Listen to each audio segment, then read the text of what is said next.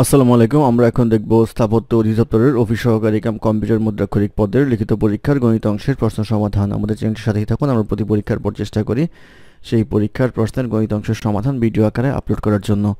অঙ্ক শুরু হবে নয় নম্বর অঙ্ক দিয়ে। নয় নম্বর অঙ্কে বলা ছিল, দুইটি নল দ্বারা একটি চৌবাচ্চা আট মিনিটে পূর্ণ হয়। নল দুইটি খুলে দেওয়ার চার মিনিট পর প্রথম নলটি বন্ধ করে দেওয়াতে চৌবাচ্চাটি পূর্ণ হতে আরও ছয় মিনিট লাগল। প্রত্যেক নল দ্বারা পৃথকভাবে চৌবাচ্চাটি পূর্ণ হতে কত সময় লাগবে? আমরা ধরে নেই, প্রথম নল দ্বারা পূর্ণ হয়।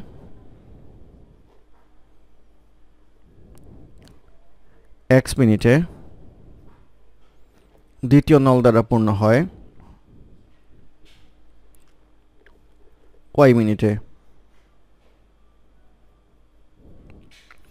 তাহলে প্রথম নল দ্বারা এক মিনিটে পূর্ণ হয়।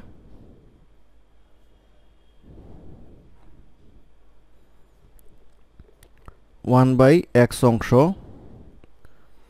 আর দ্বিতীয় নল দ্বারা এক মিনিটে পূর্ণ হয়।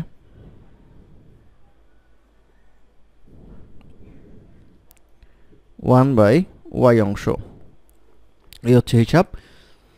প্রশ্নে বলা আছে যে দুইটি নল দ্বারা চৌবাচ্চারটি আট মিনিটে পূর্ণ হয়।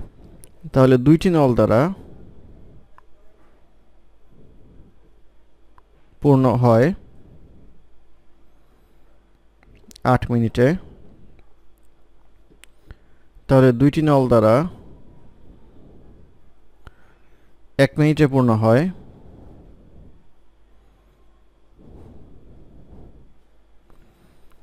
ওয়ান বাই এইট অংশ। তো বলা হচ্ছে যে, তাহলে আমরা বলতে পারব হচ্ছে এক মিনিটে হচ্ছে ওয়ান বাই এক্স, দ্বিতীয় নল দ্বারা ওয়ান বাই ওয়াই, তাহলে একত্রে হলে ওয়ান বাই এইট। এটা হবে একটি ইকুয়েশন আরেকটা বলা হচ্ছে যে দুইটা নল চার মিনিটে যদি কাজ করে, তাহলে four into one by x plus one by y, অর্থাৎ চার মিনিট দুইটা নলই খোলা ছিল, প্লাস হচ্ছে দ্বিতীয় নল খোলা ছিল হচ্ছে ছয় মিনিট, সব মিলিয়ে পূর্ণ হয়, তাহলে ইকুয়ালস আসবে হচ্ছে ওয়ান এ হচ্ছে দুইটা ইকুয়েশন তো এখান থেকে আমরা লিখতে পারব হচ্ছে one by x equals one by eight minus one by y এখন এই মানটা যদি আমরা এখানে বসাই, তাহলে four into one by eight minus one by y plus one by y plus six by y equals one বা এটা টাকাটা আসবে হচ্ছে four into one by eight plus six by y equals one বা six by y equals one এটা আসবে হচ্ছে minus one by two equals one by two অতএব ওয়াই ইকুয়ালস টুয়েলভ অর্থাৎ দ্বিতীয় নল দ্বারা পূর্ণ হবে হচ্ছে বারো মিনিটে।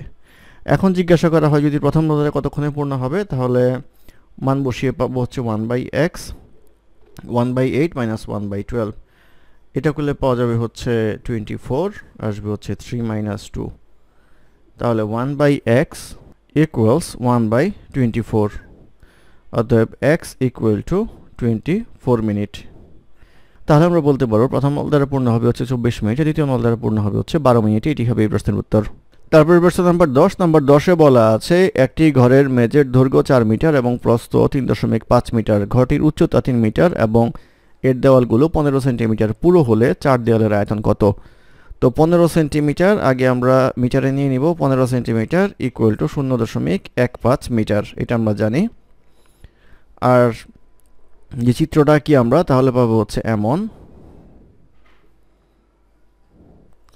যে এটা চার মিটার এটা থ্রি পয়েন্ট ফাইভ মিটার সাড়ে তিন মিটার কারণ দৈর্ঘ্যপ্রস্থ দেওয়া আছে, উচ্চতা আমরা পরে হিসাব করব। এবার আসি, যদি এটা আমাদের ওই বাগানের মতো হিসাব করা হতো, তাহলে এই যে ওয়ালটা আসতো এমন। এটা হচ্ছে ওয়ালের পুরুত্ব zero point one five metre এটাও আসতো হচ্ছে zero point one five metre তাহলে ভেতরের যে ক্ষেত্রফল, ভেতরের ক্ষেত্রফল আসতো হচ্ছে four into three point five দৈর্ঘ্য ইন্টু প্রস্থ এইটা আসতো হচ্ছে আমাদের ফোরটিন মিটার স্কোয়ার ফোরটিন বর্গমিটার।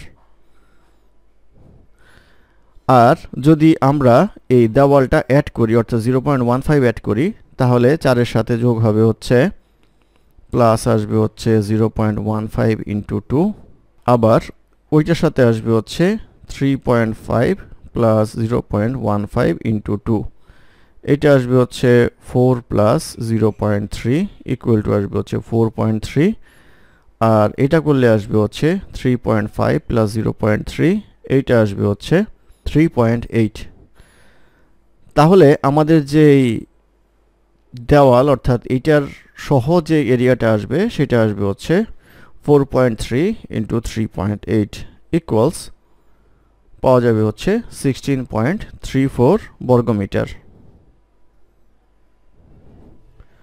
অতএব দেয়ালের যে পুরুত্ব আছে, দেয়ালের পুরুত্বের ক্ষেত্রফল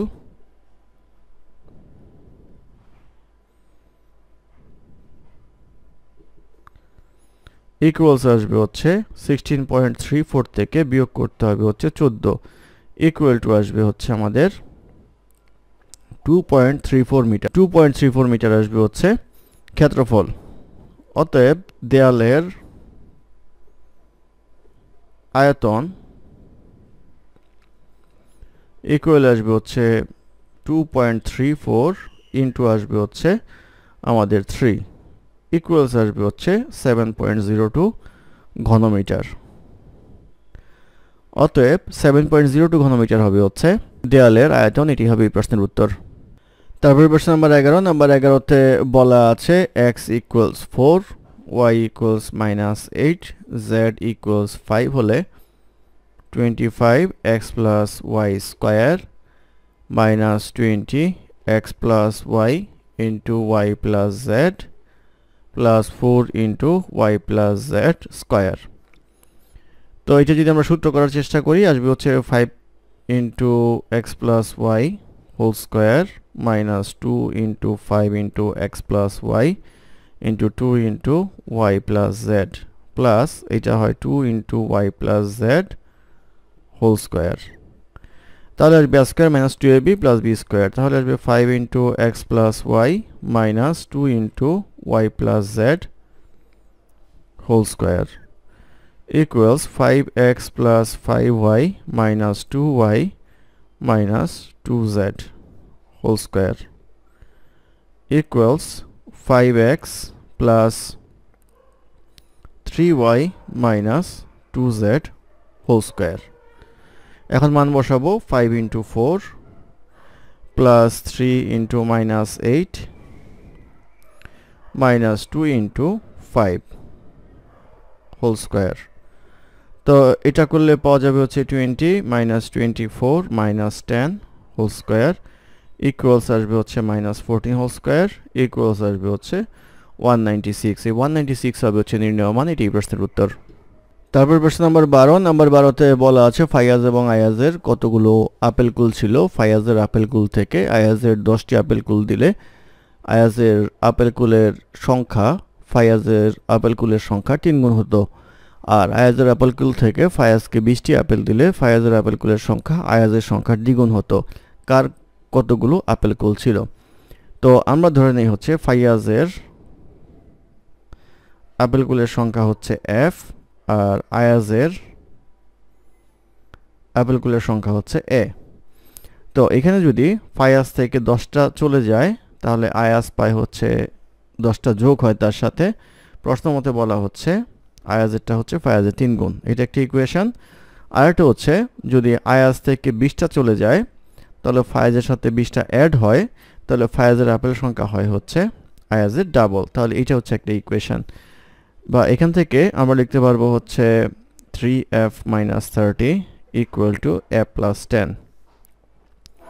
বা a equal to three f minus forty আর এখান থেকে করলে আমরা পাবো হচ্ছে two a minus forty equals f plus twenty বা এখানে এফ ইকুয়াল টু আসবে হচ্ছে টু এ মাইনাস সিক্সটি বা f equal to two into three f minus forty minus sixty বা করলে আসবে হচ্ছে five f equal to one forty বা এফ ইকুয়াল টু আসবে হচ্ছে টোয়েন্টি এইট অর্থাৎ ফায়াজ পাবে হচ্ছে আঠাইশটি অর্থাৎ আয়াজ ইকুয়াল টু আসবে হচ্ছে three into twenty eight minus forty equals আসবে হচ্ছে eighty four minus forty equals forty four অর্থাৎ ফায়াজের আপেলগুলোর সংখ্যা হচ্ছে আঠাইশটি, আর আয়াজের আপেলগুলোর সংখ্যা হচ্ছে চুয়াল্লিশটি। এটি হবে এই প্রশ্নের উত্তর।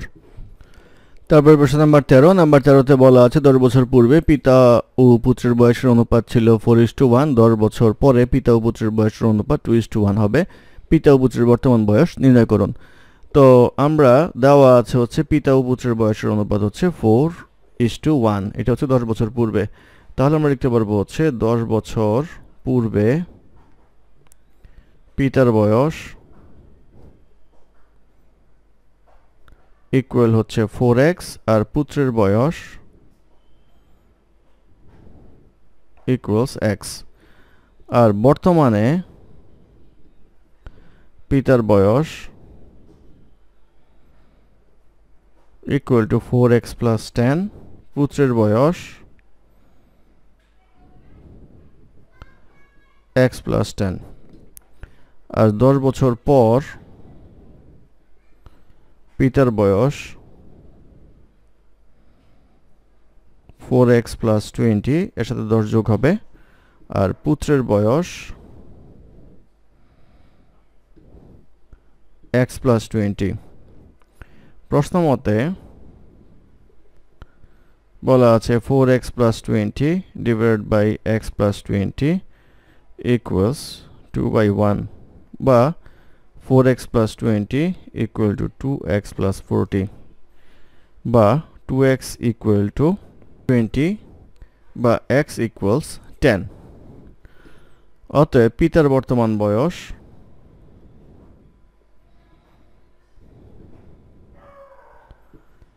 four x plus ten equal to four into ten plus ten equals আসবে হচ্ছে ফিফটি আর পুত্রের বর্তমান বয়স sir x plus ten equals আসবে হচ্ছে ten plus ten equals twenty অর্থাৎ পুত্রের বর্তমান বয়স বিশ বছর, পিতার বর্তমান বয়স পঞ্চাশ বছর, এটি হবে এই প্রশ্নের উত্তর। ধন্যবাদ আমাদের সাথে থাকার জন্য। আমাদের চ্যানেলটি ভালো লাগলে অবশ্যই সাবস্ক্রাইব করবেন, লাইক, কমেন্ট এবং শেয়ার করবেন। আমাকে কোনো সমস্যা থাকলে আমাদের কমেন্টে জানাবেন। আমরা চেষ্টা করব কমেন্টে রিপ্লাই দেওয়ার জন্য। ধন্যবাদ।